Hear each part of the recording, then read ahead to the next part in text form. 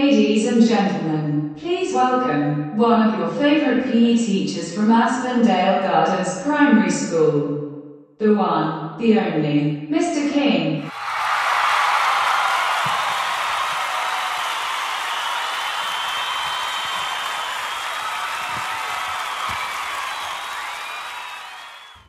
Hello, students of AGPS. Welcome back to another game by Mr. King, myself, and Mr. Murphy. Today, we're going to play a brand new game called Rapid Fire Handball. Okay, so hopefully today's game will get you nice and excited for our footy day this Friday. Okay, however, before we play this brand new game, we will need to go and find some equipment. The equipment we will need to go find very shortly to play this game includes one chair. Okay, so very shortly you're going to need to go find one chair. You then need to go find one laundry basket.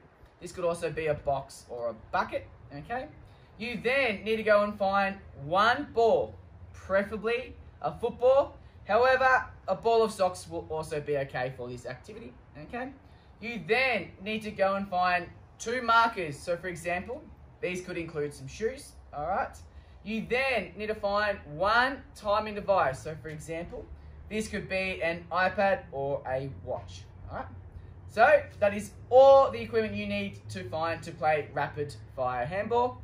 I'm now going to give you a couple minutes to quickly go find that equipment.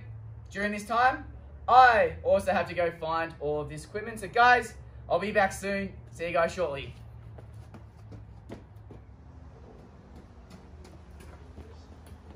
All right, everybody. Hopefully you have been able to find all of that equipment. I'm now going to show you how we need to set up rapid fire handball. Let's have a look.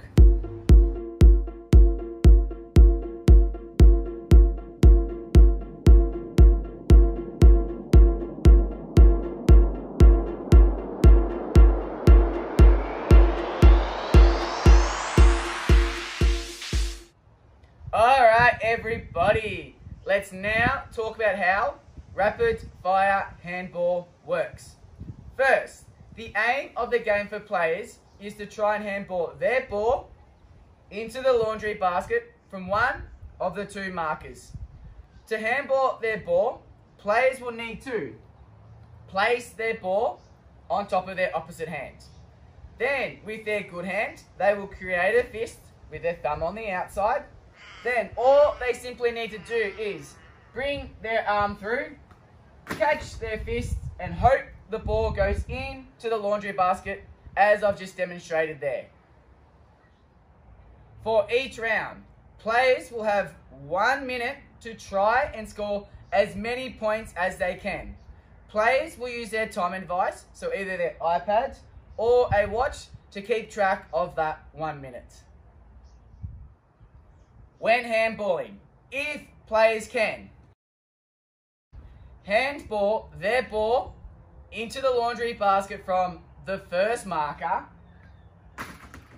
they will receive one point. During the game, if players can, handball their ball into the laundry basket from the second marker, they will receive six points. However, if players handball their ball and miss the laundry basket, they will receive zero points. Players continue handballing their ball as many times as they can until the one minute is up. During this time, players can choose which of the two markers to handball from. Players will play four rounds, or quarters. After players have completed their four rounds, they will need to add the scores from each round together. This will be their final score for rapid fire handball. Alright everybody, so that is how you play rapid fire handball. Now, give this game a go at home and see if you can be a member of your family to become the rapid fire Handball Champion?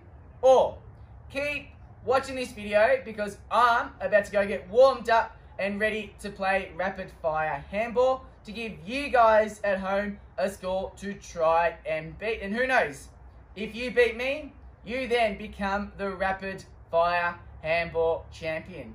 All right, guys, good luck and have fun.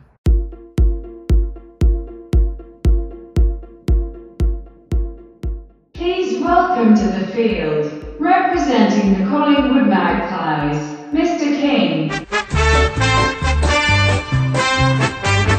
Good old